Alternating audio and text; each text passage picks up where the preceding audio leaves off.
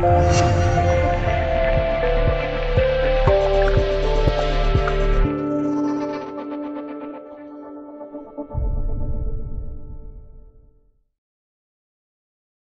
种偏颇体质都有一定的发病倾向，痰湿体质的人易患消渴、中风等病症；痰湿体质的人爱脱发，中医称为八柱，因为痰湿内生，血瘀血热，熏蒸发根，头发、头皮油腻瘙痒，而且身体沉重，大便不爽，多汗，所以痰湿的脱发不同于肝肾不足的脱发。古人在临床上观察到，爱吃甜食的人。大鱼大肉的人，头发特别容易脱落，主要是因为这些食物滋腻厚重，不容易消化，使脾气的运化功能出现障碍。我们会发现，痰湿体质的人额头油光可见，这是因虚湿互杂，既有以脾湿健运为主的正虚，又有痰湿交组的邪实，湿性重、浊、黏、腻，皮肤排出的就是油状的湿。痰湿体质的人眼泡还爱浊。中医称眼睑，眼泡为肉轮，肉轮与皮是同属的。脾气健运与否，决定了肉轮是否臃肿柔润。肉轮的颜色形态也体现了脾气功能的强弱。痰湿体质的人，脾湿健运，痰湿内运。由于痰湿自身黏腻的特点，阻碍了气的上下运行，导致代谢不利，容易造成痰湿的堆积，甚至出现脾气下陷。所以在热轮这个特殊的脾气反应点上，就出现了眼泡肿、眼皮下垂的表现。痰湿体质的人吃饭走路都比别人容易出汗，那生活中应注意什么呢？要摆正心态，改变生活方式和饮食习惯，增加运动量。短时间的过量运动和节食，减下去的体重不但容易反弹，而且会加大脏腑功能的损伤。所以。首先应避免过量饮食，注意平衡膳食。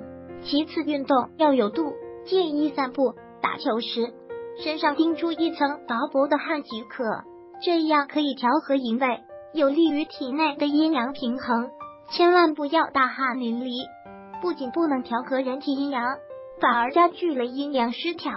肥胖的人多汗多气虚，运动过量很容易造成大汗亡阳、手足逆冷。心悸、眩晕的等类似休克的症状，因此运动后也要注意休息。祛湿，首当用艾灸。若论湿症，首艾灸，艾灸祛湿，推荐养生穴位艾灸有开运、祛湿、补阳气的作用，特别适合夏季养生。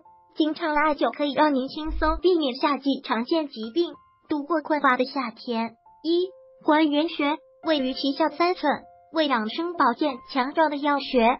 如下图，九子穴位可以用艾条九十到十五分钟，或用随身灸灸二十到三十分钟。长期施灸有调理气血、补肾固精等功效。如下图，二命门穴位于人体背后第二腰椎之下，与其相对，是人体生命力的中心，为人体住宿的地方。如下图，九子穴位可以用艾条九十到十五分钟，或用随身灸灸二十到三十分钟。如下图三中脘穴位于腹部正中线，其上四寸处，相当于五指宽度。